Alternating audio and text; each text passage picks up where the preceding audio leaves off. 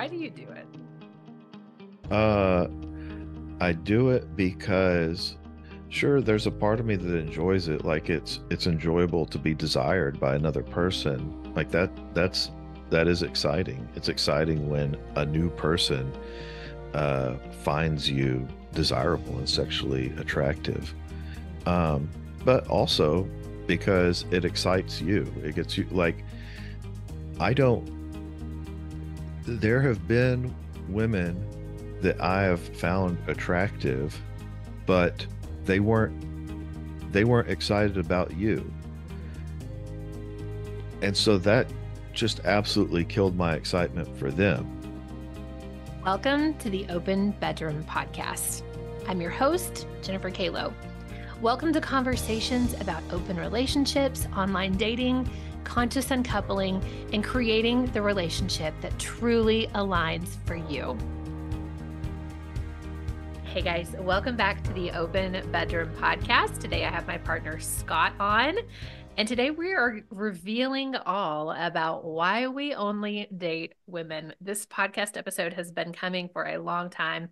I got a lot of requests and a lot of questions to further explain why we don't have extra men in our relationship. So, Scott, do you want to say hi to our listeners? Maybe some new ones have never heard of you before or heard from you.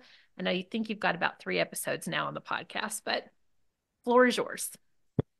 Uh, thanks. Hi, I'm Scott. I'm I live with Jen, uh, and we do we uh, do living stuff together, um, and uh, have a a couple of girlfriends who occasionally join in with us.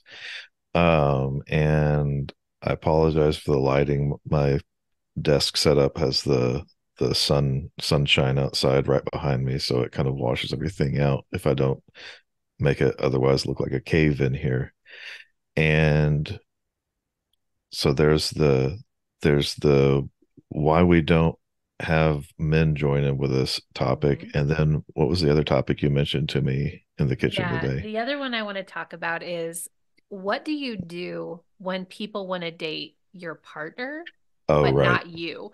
And I mean you as in we as a couple. How do we yeah. handle when people are interested in not just seems us? like one of us. Right. How do we handle yeah. that? So cool. Do you want to just kind of jump into our topic of why we only date women? Um, I mean, that's a very I think that's a, a pretty complicated topic. Um and it's it's it's kind of stigmatized like one thing I found funny or interesting is uh on one hand a lot of people turn their noses up at couples that are only interested in dating a single woman or an available woman and a, a woman who uh, dates separately so to speak.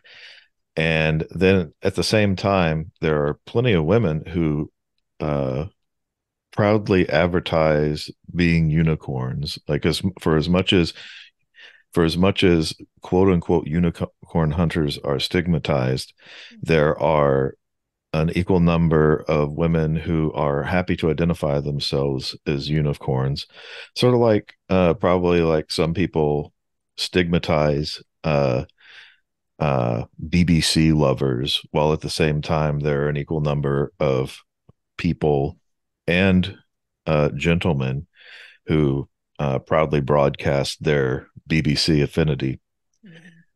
Um, but anyway, uh, so trying to just get past the uh, that that rash stigma.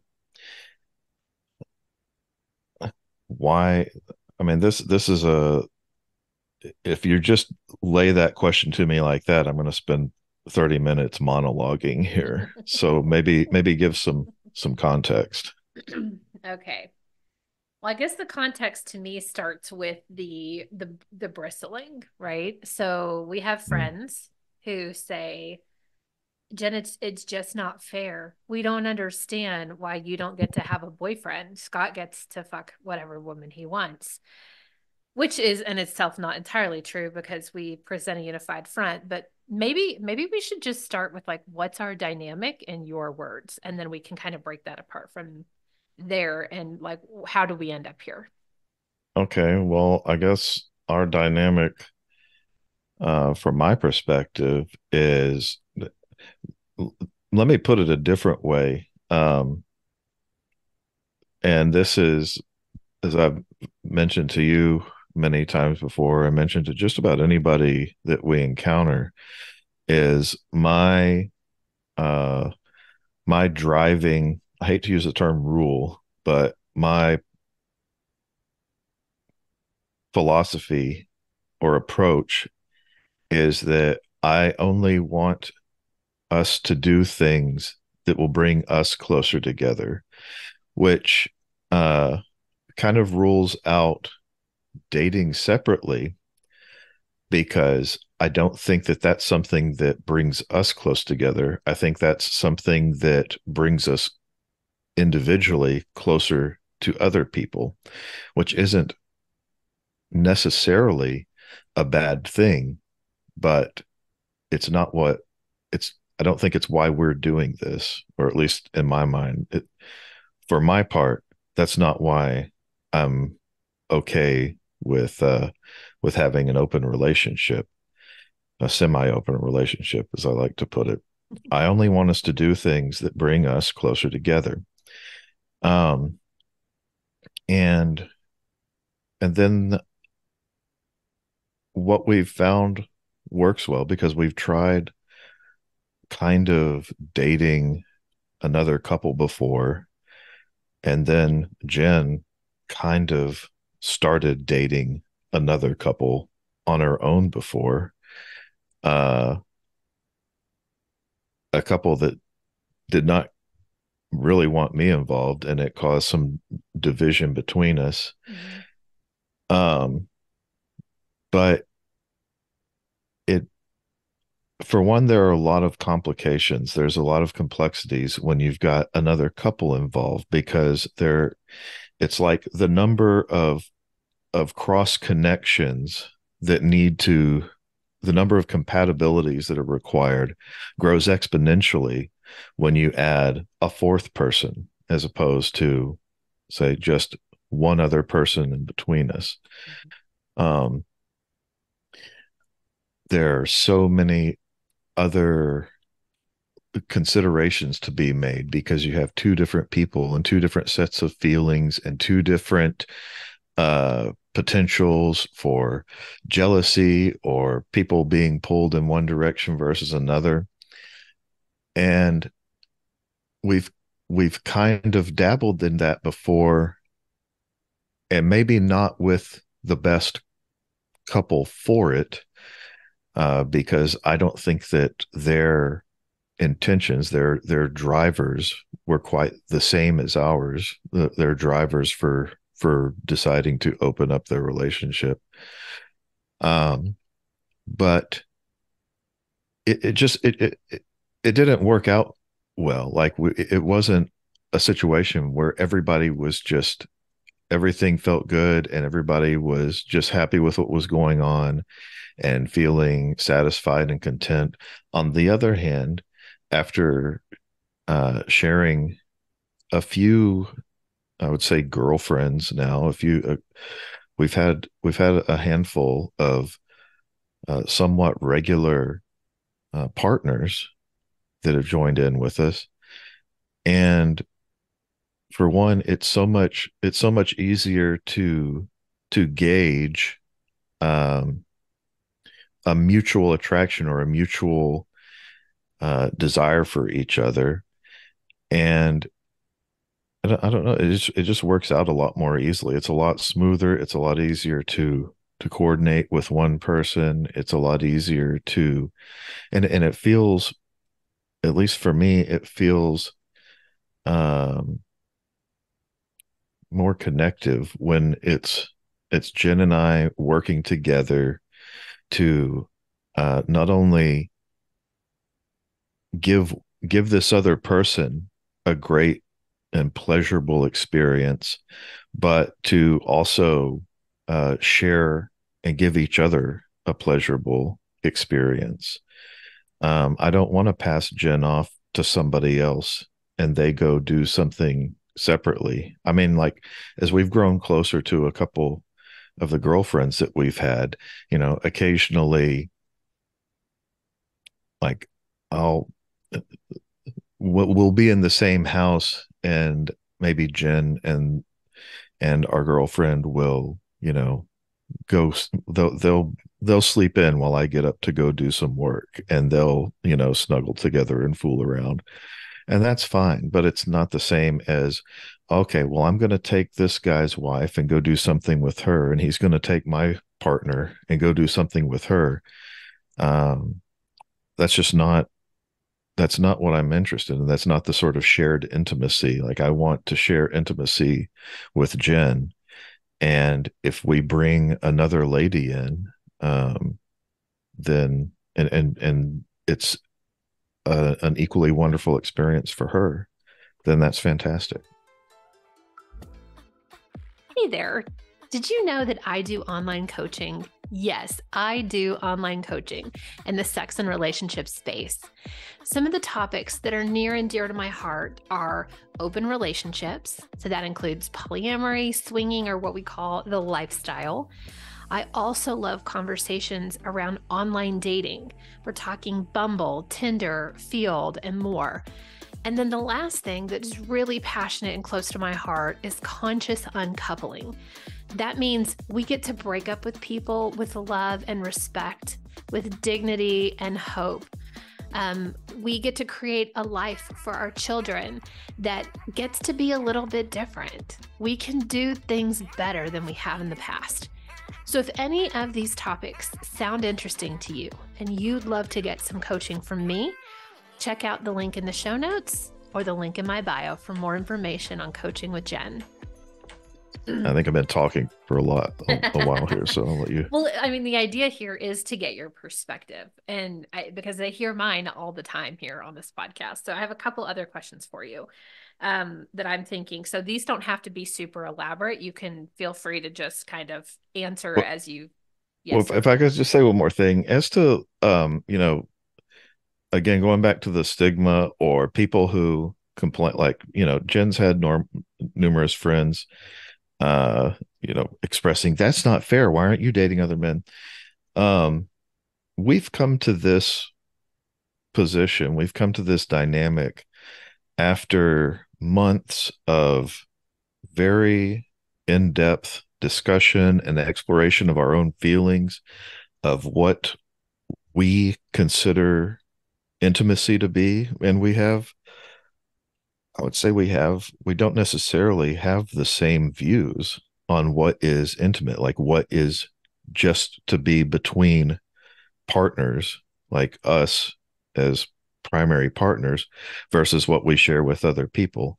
Um, but we've come to our dynamic after a lot of communication and a lot of very deep uh, exploring exploration of our own feelings and understanding each other's feelings.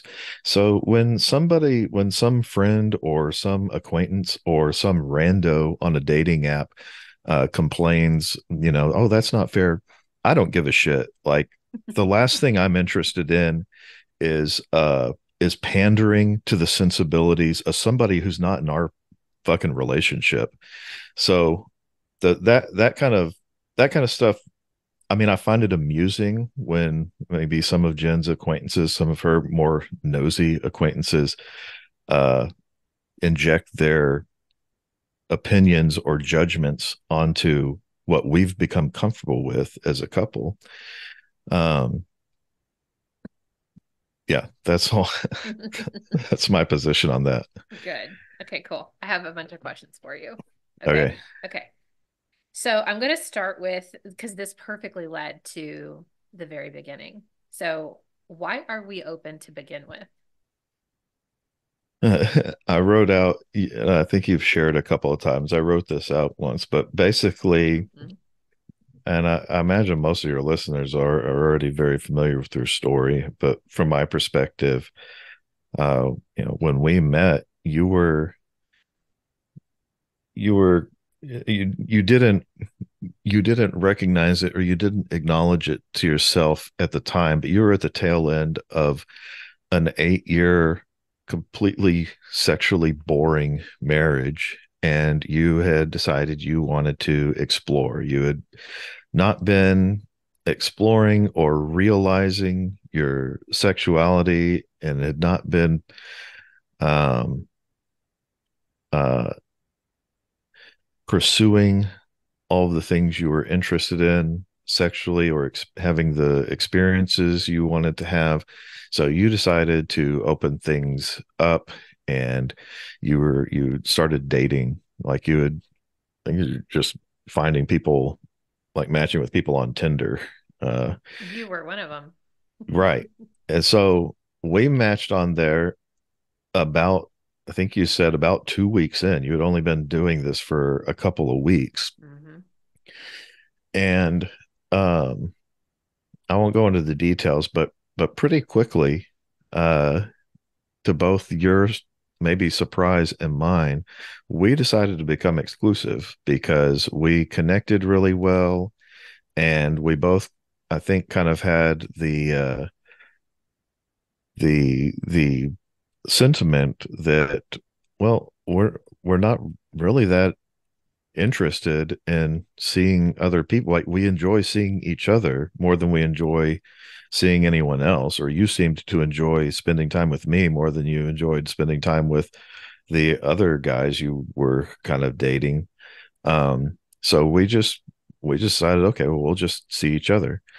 Um and and that was that was great for that was great but i also recognized that i had come along when you were right at the beginning of like going on this uh i use i use the i've used the term sexual amusement park a lot of times like you had only done a couple of the rides and i didn't want to i didn't want you to have to like cut off your time at the amusement park and go home uh, because you happened to meet me so early into your your exploration mm. um, but at the same time i was making a substantial emotional investment into you mm-hmm. more than i would say i've made into anybody and so I wanted you to be able to continue exploring your sexuality. But if I was going to continue to invest in this relationship, I it needed to be something that was bringing us together and not just sending you off to see if there were better options or see if there was something more uh more appealing um which sounds that you, sounds you know that that's not what it was either. It was I wanted to try like I wanted to do it with you. The things, and I think it, at that point I was like I was hesitant that you were willing to try all the things. Yeah. It and, wasn't I, I mean, was trying to find anyone better than you. It was like I want to do this and I want to do that and I want to and you and I, and I was like, "Are you sure you want to do all of this stuff with me?" Sure, but I mean, at the time, like that's that's one way that I perceived it because it's like, oh, well if if you're if this is good, if if you're happy with what we have, then like why would you want to go look for something else elsewhere unless you're just looking for looking for an upgrade? Uh mm-hmm. which is which is you a were my upgrade baby. I i love you for that. Um but also like i said i just wanted i wanted i wanted you to be able to have as many as experiences as would be possible within the bounds of us maintaining and growing a relationship so experience all the things well i mean all the things is a lot of things mm-hmm. and not all not all the things are compatible with at least the sort of relationship mm-hmm. that I'm that I'm comfortable and that I'm that I'm willing to invest in. Uh, which I, I'm maybe sounds restrictive, but everybody has the choice to pursue what feels good for them and Mm-hmm. what makes them happy. And I want, I hoped that that we could both that we would both be compatible in in what was exciting for us to explore, but what also let us stay like let us be be comfortable and and happy in our relationship together. Mhm. Yeah, I had a hard time with this one, like wrapping my mind around the fact that Scott would want to show up with me in all the various ways that I wanted to taste the world. So, for example, um, I wanted to go to like a black a black light glow party. I wanted to go to a dungeon. I wanted to go to a sex club. I wanted, and it was we were creating such a beautiful, what felt like sacred relationship together that I I remember looking at you that night when we talked about this and I said, that's not a place for us. Like I don't know that Mm, I yeah. want you to be in see me in that environment or to be I don't like I don't want to jeopardize our relationship because we went to a sex club and you just looked at me with this sincere sincereness in your eyes and you were like Jen, I want to experience all of that with you. And it took me a moment and I was like, he's serious. Like he really truly wants to experience these things with me for the first time or every time that it's a new experience. And and that's really beautiful and I feel so honored and you have done a beautiful job of creating a container for me to play in. A container that feels safe but also expansive at the same time. Well, it's funny you say that um, because I felt I also felt in a way like you were infantilizing me. And we've talked about this Madonna complex before. Like husbands start viewing their wives as this uh this pristine chaste figure and they stop wanting to like like really have Mm. like do wild dirty stuff with them.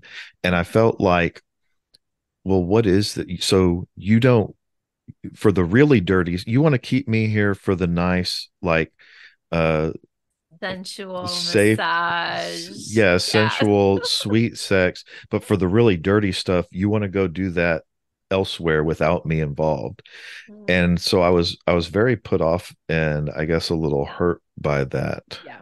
and that- but then you realized that Mhm. immediately like when you told like you had been avoiding telling me that you wanted to go do this Yeah. um but i'm glad you did because then we had a pretty good conversation about it It's the one and only time I've ever hurt you and been in front of you when I did it and seen the hurt in your eyes and the rejection. And I never fucking ever want you to feel that way again. It hurt my heart so much to realize how much it hurt you. And I feel like from that moment on, though, that was it. Like I had at that point broken it off with any of the other people I was seeing. It was just you and me moving forward. At that point, I knew my marriage was over. In fact, I was about to leave for Costa Rica. Scott helped put me on an airplane. And when I came back, my husband was gone. He had moved everything out. And we knew that this was happening. Like it was the week that uh, the week of transition and I wasn't home to be part of the transition, thankfully. And so I knew coming home that Scott was it for me, that he was my person moving forward. And now we've transitioned into this. But do you want to like gloss over any of the, like us really just exclusively being together and how that kind of opened back up?